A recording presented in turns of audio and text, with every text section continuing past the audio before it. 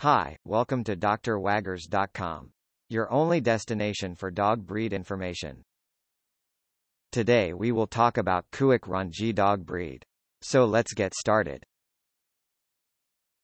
Kooikerhondje originated from Netherlands, it was used for trapping, and companion. It's very benevolent, intelligent, and alert. It is a purebred dog and not a crossbreed. Let's discuss some key characteristics of this breed.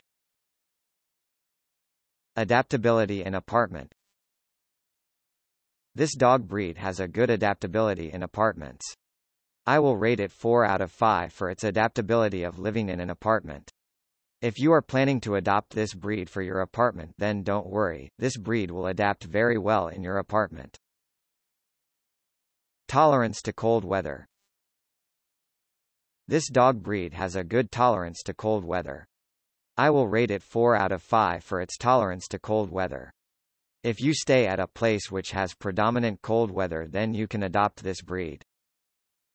Tolerance to hot weather This dog breed has an average tolerance to hot weather. I will rate it 3 out of 5 for its tolerance to hot weather.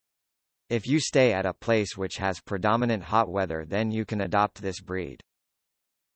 Friendliness with family this dog breed is moderately friendly with family members. I will rate it 3 out of 5 for its friendliness with family members. If you have young children or elderly family then you can adopt this breed. Friendliness with kids This dog breed is not very friendly with kids. I will rate it 2 out of 5 for its friendliness with kids. If you have young children in family then you should not adopt this breed. Friendliness with strangers This dog breed is not very friendly with strangers. I will rate it 2 out of 5 for its friendliness with strangers. If you are looking for a guard dog then you can adopt this breed. Ease of training This dog breed is difficult to train.